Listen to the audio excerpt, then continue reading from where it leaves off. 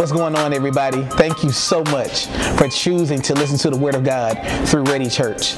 After this sermon, go back and hit that subscribe button. We don't want you just to pass through, we want you to become a part of our community. And I pray that everything you hear is something that you can apply to your life. God bless you. That's what preparation is for us, the body of Christ. We already have the instruction. How you prepare is your cheat sheet. So if you are faced with a challenge or a test in life, how you prepare for that test is going to be your cheat sheet when you want to quit. Mm-hmm. All you have to do is say, oh, I'm so glad I want to quit, but I know where I can turn and get the strength from. I know where I can turn and get the endurance from. I know where I can turn and get the stamina, the focus, and even the memory of how to overcome this. So preparation yields a lot of things. And if you didn't catch that, preparation yields endurance. Preparation yields endurance. And I'm going to tell you how so. We talked about it last week. Y'all know I've been, I'm on a little, little journey. I ain't going to call it weight loss, baby. It's just got to be a lifestyle at this point because I done lost it, gained it, lost it, and gained it. So what you got is what you get. All right? But how preparation helps you, uh, starting in June, I became more consistent. Like, okay, I'm going to get up, I do a mile, uh, I do walk, run, walk, run, and then I go do my workout. Um, how that helps is, is third, Friday morning, I got up to do my mile. And I was like, I was running, and I was like, I could stop right here and just go ahead and go to the gym. But because I had pr prepared and my preparation has been so consistent, I was able to go a little longer. I was able to accomplish a new milestone because I have been preparing. You're wondering why you're getting stuck at certain milestones is because you are giving up on your preparation. Get up and go when you don't want to go. Yes. Get up and read the word when you don't feel like it. It's okay, just read a scripture and meditate on that one scripture. But how you prepare is going to have a direct reflection on how you win. I don't care what nobody say. I don't care what nobody say. If anybody here has played sports, if anybody here has uh, have a business or anything like that, I played sports in high school. If you do not prepare, you are not going to win. Now, granted, you may just come up that just was the better team that night. That don't mean you trash, okay? All right, they was just better that night. But how you prepare matters. If our coach didn't make us do suicides when I played basketball, when it was a fast-paced game and we were playing a team that was faster than us, if I didn't do that in practice, I wouldn't have been able to sustain myself and I would be out of the game. So how you prepare in life is a direct correlation of how you will win in life. Amen? Turn to your neighbor. Y'all can get tired of me. Go ahead, turn to your neighbor. Tell them how you prepare. It's how you're going to win. Turn to your other neighbor. I don't care if they're behind you, they beside you. That's your fault. Tell them how you prepare. It's how you win. Without preparation, how will you endure to the end? How would you stay the course until the end? How was Jesus able to endure even unto death? How was he able to endure?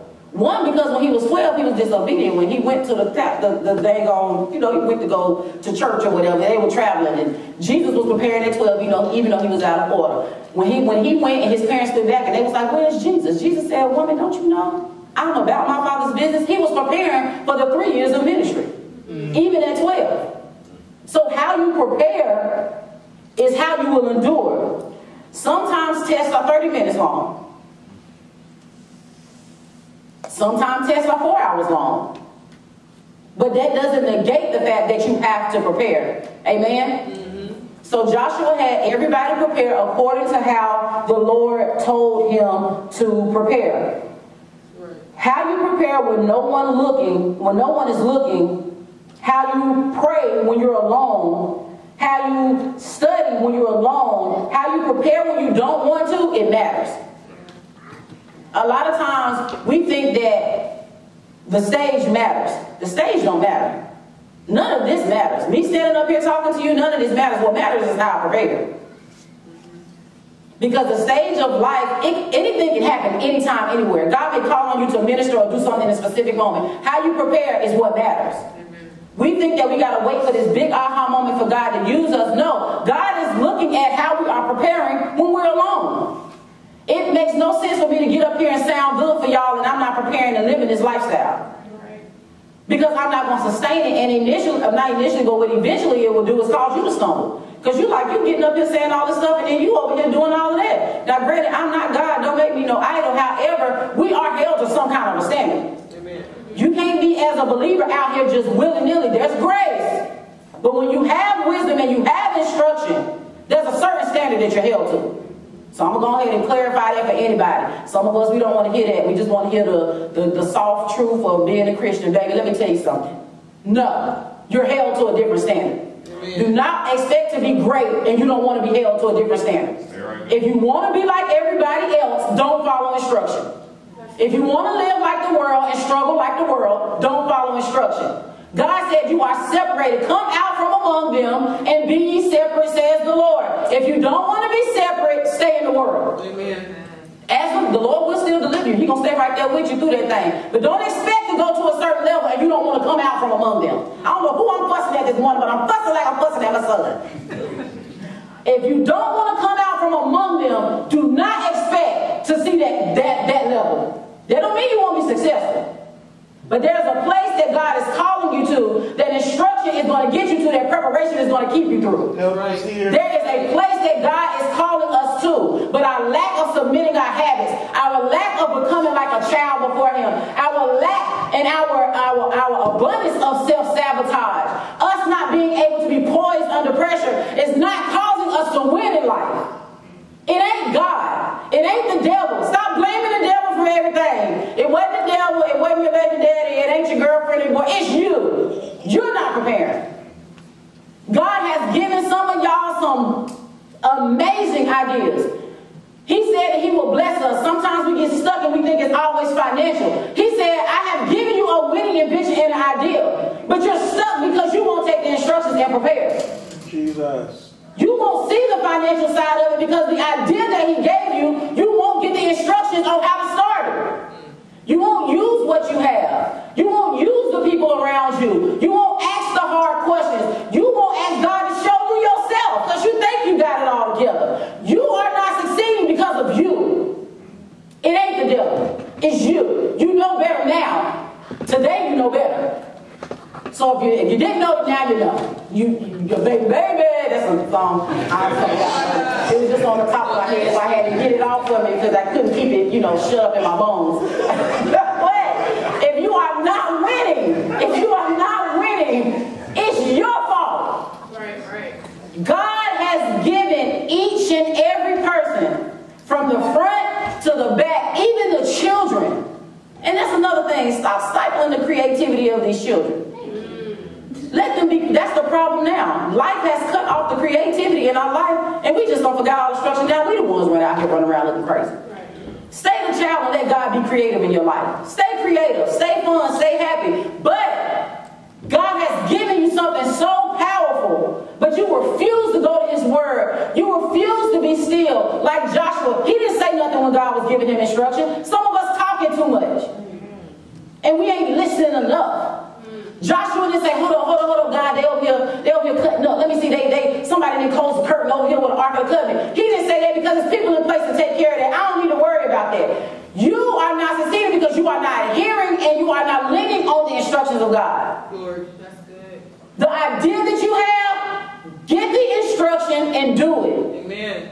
Like I said, you may not hear the sky crack open because you would be terrified. I feel like Would be terrified if Jesus was standing at the foot of my bed and I woke up and he started telling me stuff to do. I would please speak to me in a still small voice. please, please. But if you want to win in life, apply the instruction on the on the idea. Apply the instruction on the on the gift. Some of y'all have a gift of creating, but you refuse to get up and just go to, to go for a walk and just ad, admire the beauty of creation. Mm, that's good. You refuse to do that. Mm. How you expect him to trust you with a lot when you can't be faithful over that little? Mm. And that's just controlling yourself and getting up and just walking. You wonder why your creativity ain't flowing because you don't follow instruction. You don't even have the instruction to prepare for a thing. You're preparing for the thing with no instruction. All do it. I'm guilty of it. I done built some stuff without looking at the instructions. And baby, I done had to take some screws out and start over. Because why is this flipped that way? This is not, this is supposed to be this way. That's because we get an IKEA set, and you don't watch a couple YouTube videos, and you say, I got it. I saw somebody on TikTok doing it in 30 seconds. Baby, they done cut, chopped, screwed, and sped up. It's gonna take you three hours. At least three, minimum, bare minimum, three hours. But because you see it, you saw the thing, you didn't prepare, you didn't, you didn't go look at the instructions, you just started trying to prepare the thing. Some of y'all know y'all can't cook. And you're trying to prepare a thing, and you wonder why people not eating. it. Baby, read the back of the box. It is so simple. If you don't know how to cook, the instructions will make it good. Okay. That's the thing. God has instructions that is going to make the thing good, but you're trying to prepare it.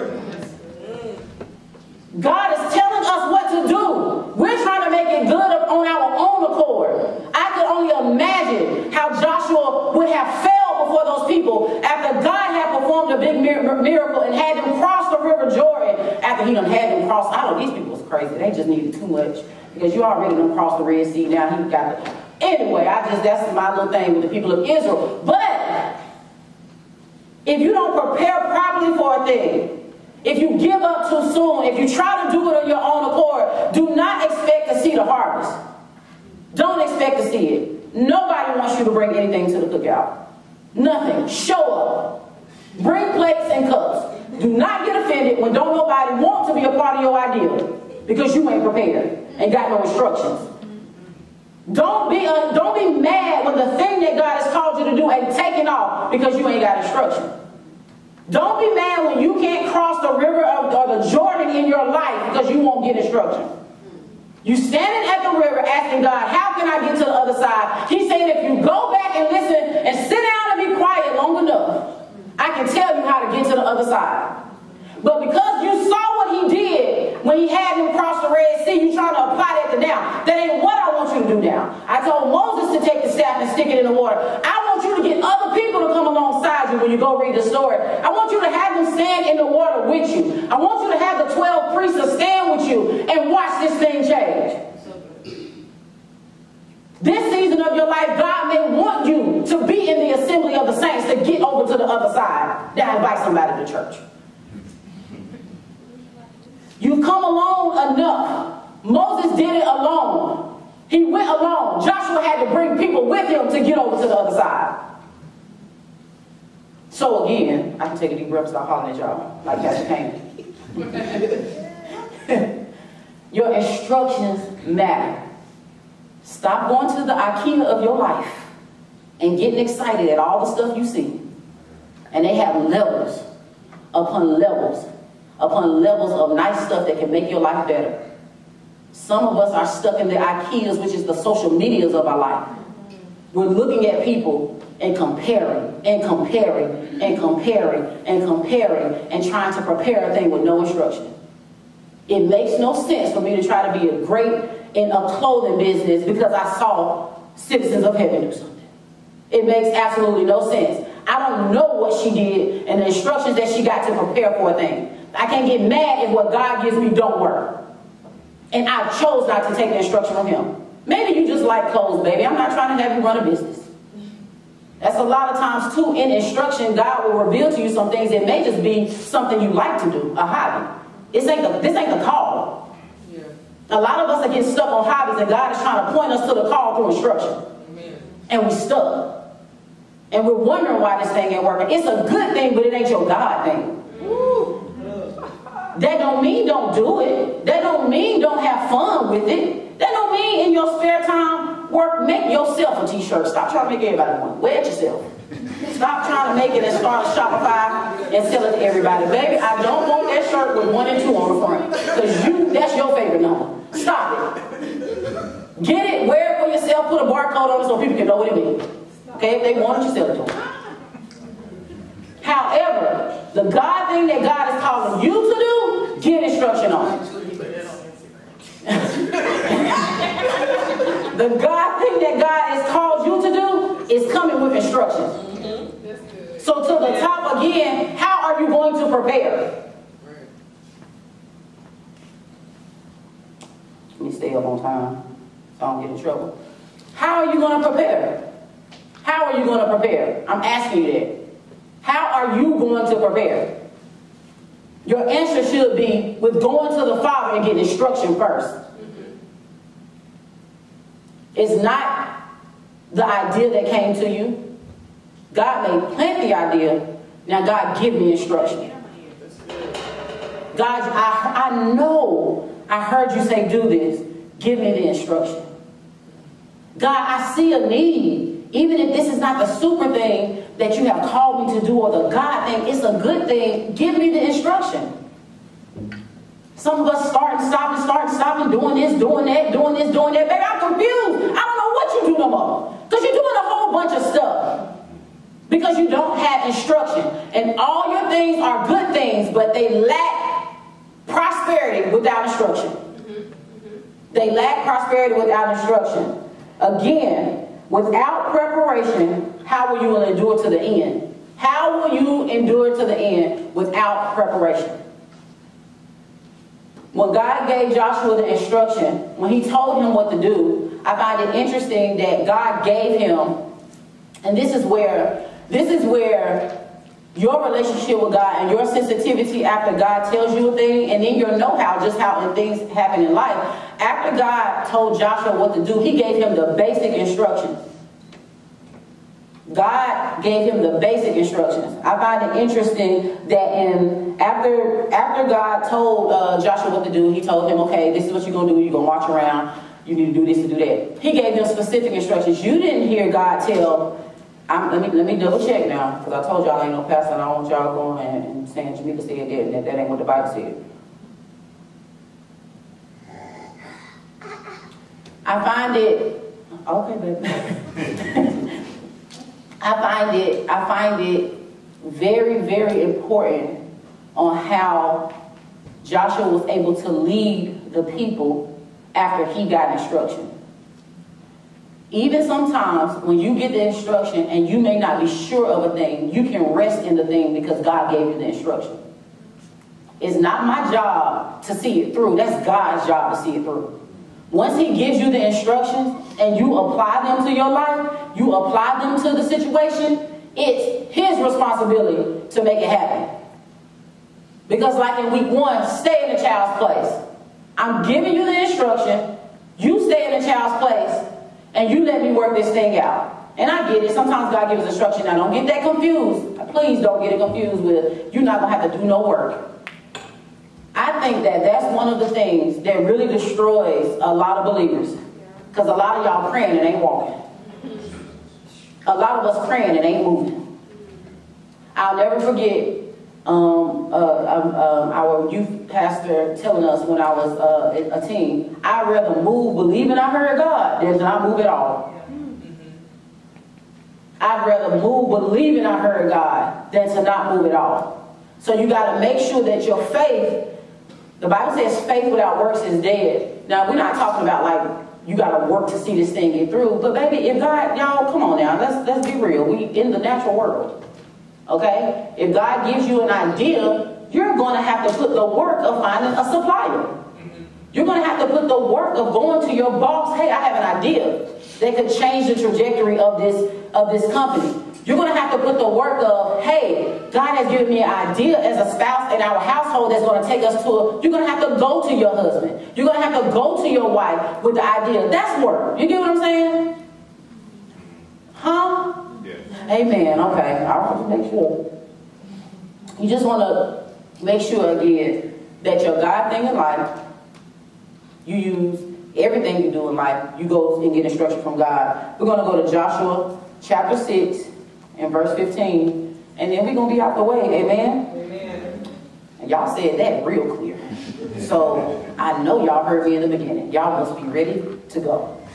Um, amen. So let's go to Joshua chapter 6, verse 15. If you got to say amen. amen. I know some of y'all not telling the truth, but that's okay.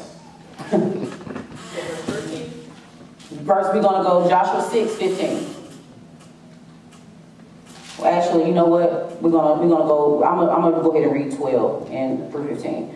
So Joshua chapter Joshua chapter 6 verse 12. And Joshua rose early in the morning And the priests took up the ark of the Lord.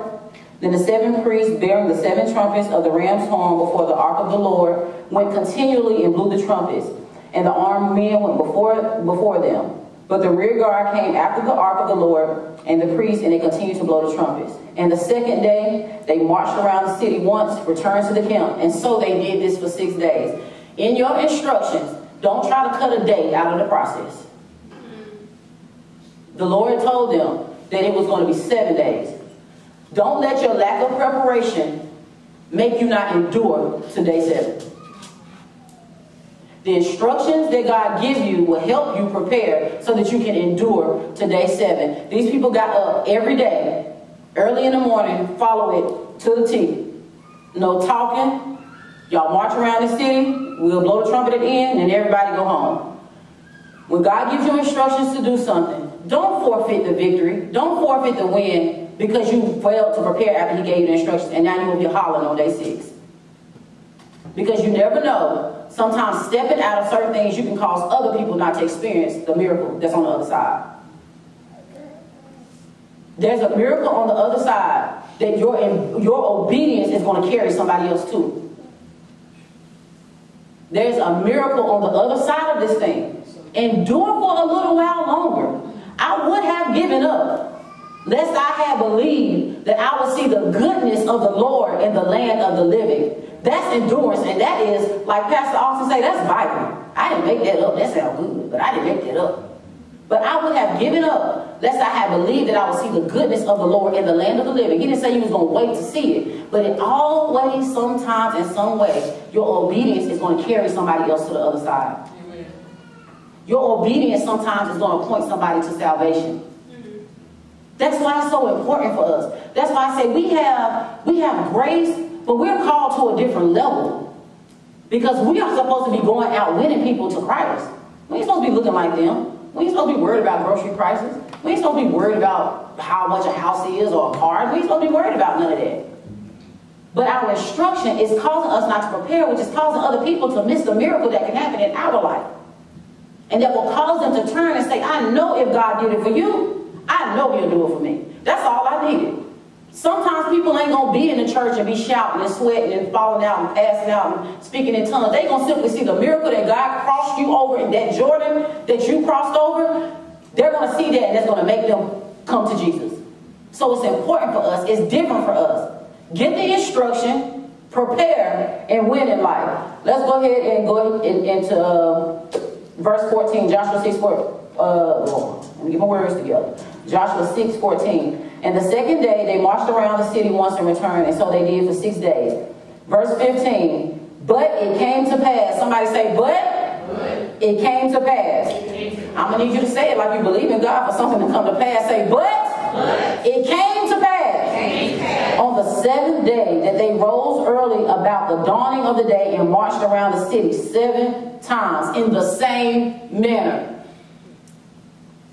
On that day, they only marched around the city seven times. And in the seventh time it happened, when the priest blew the trumpets, that Joshua said to the people, Shout, for the Lord has given you the city. Now the city shall be doomed by the Lord to destruction, and it it and all who are in it. Only Rahab the harlot shall live, she and all who are with her in the house, because she hid the messages, messengers that were sent. And you, by all means, abstain from accursed things, lest you become accursed when you take the accursed things and make the camp of Israel accursed. All the silver, all the gold, the vessels of bronze and iron are consecrated to the Lord. They shall be, they shall come into the treasury of the Lord. So the people shouted when the priest blew the trumpets, and it happened. Tell somebody, say, and it happened. It happened. When the people heard the sound of the trumpet, and the people shouted with a great shout that the wall fell down flat. Then the people went up into the city, every man straight before him, and they took the city. And they utterly destroyed all that was in the city, both man, woman, young, old, ox, sheep, donkey, with the edge of the sword. But Joshua had said to these two men that had spied out the country, Go into the harlot's house, and from there bring the woman and all that she has, and that you swore to her. And the young man did so. At the end of the day, Amen. At the end of the day, don't forfeit again. Don't forfeit the miracle that's on the other side because you refuse to get you refuse to get instruction to prepare for where you're going. It's the same thing with Moses. Moses forfeited. Now the thing about Moses is he got to see it, but he didn't get to taste it. Don't be that person in life because you won't adhere to the instruction, instructions of the Lord. That you see it happening for everybody else and you're not tasting it because you won't follow instructions. Don't be jealous. Don't be mad. Rejoice with those that do rejoice. Go back to the drawing board and say, God, give me the instruction so that I can see it happen in my life. Because you have prepared, you have written a vision down that God has given, make a plan. Once God gives you the instruction, write it down. It's so simple. And I know sometimes we, it's a lot going on in life. You don't have no pen in a car in your purse. That phone never leaves your hand. Never. Go write it down. And if you need scripture for that, that's Habakkuk 2. You don't have to figure it out. Simply follow the guidelines to preparation and win in life. How can God increase what you haven't prepared for? How can God increase what you haven't prepared for? Stop just, if you, you if, if you know that the, the blessing is a cake, stop just bringing God an egg. You are not prepared. Prepare and that's from the Lord. The Lord gave me that. How are you preparing to win? If you want to win, prepare. Don't just get the egg. Get the flour. Get the salt. Get the baking powder. Get the baking soda. Get some sugar. Get the flour. Some of y'all got that and you don't even have a pan. Baby, go buy a pan. Give God something to work with at least have a pan. Maybe he will cause men to give into your bosom and bring the rest of it. But God can't even cause men to give into your life because you don't even have a pan. Start somewhere. Some of us waiting for the finances to have everything. Get something. Dollar Tree. Dollar 25 tree. Because it's not a dollar anymore. Go get you a pen. Start somewhere and watch God change the trajectory of your life. Give him something to work with. How can God increase what you haven't prepared for? What benefit would it be for you or anyone that you are called to if you are not prepared to handle the gift? What benefit, and I'm almost done, I'm wrapping up. What benefit would it be to you or anybody you're called to if you are not preparing for what God has given you? If you are not taking instructions and preparing for it? A lot of times that's what happens in the body of Christ. We lose a lot of people because we don't have no instruction. We're just doing stuff. What happens when your idea flops. You're just doing stuff. Get instructions. Prepare and watch God change the trajectory of your life. I challenge you, I challenge you to ask God for instruction on whatever it is in your life. God cares about everything. Y'all, this is this is a simple formula. It's a simple formula. No, you, just, a little worship. We don't need to praise and worship. Amen. Just a little keys. Just a little keys. Amen. I challenge you to ask God for instruction on what to do for the next six months of your life. We have six months left in this year, y'all. It is about to be Christmas. If you don't know, this is gonna go by so fast. You got September, you got October, November, you got holidays for the rest of the year. And it's going to go by so fast. I challenge you to ask God for instructions so that you can win. I want y'all to win. I want to win. Anybody else in here want to win in life? I want to win. I want to win in life. And winning is not void of trials. Let me go ahead and clear that up. Winning is not void of trials. You don't know how good winning feels until you lost. I'm not saying you're gonna lose it all. You're not. You're not. Because with uh, with the with stretched out arm, he gonna hold you up in this thing called life. But you don't know how good winning feels until you have followed the instruction of your coach and applied that play and seen it work. Y'all have seen God do some amazing things in y'all life. And y'all still not asking him for instruction. Some of it was just because out of the goodness of his heart and his mercy that he's done it. But there has been some things that we got instruction on from God and saw him work that thing. We saw it unfold day by day, night by night. We saw the depression leave from our life. We saw the sadness leave from our life. Listen, I ain't gonna hold you. I think what you just heard has been some amazing teaching. I'm not to take the credit for it. I give God all of the glory. Listen, I don't want this just to be a sermon. I want this to be something that you can use in your life. If this was a blessing to you, or maybe there's something that you just don't understand, please email us at readychurchcot at gmail.com. God bless you. Can't wait to see you again.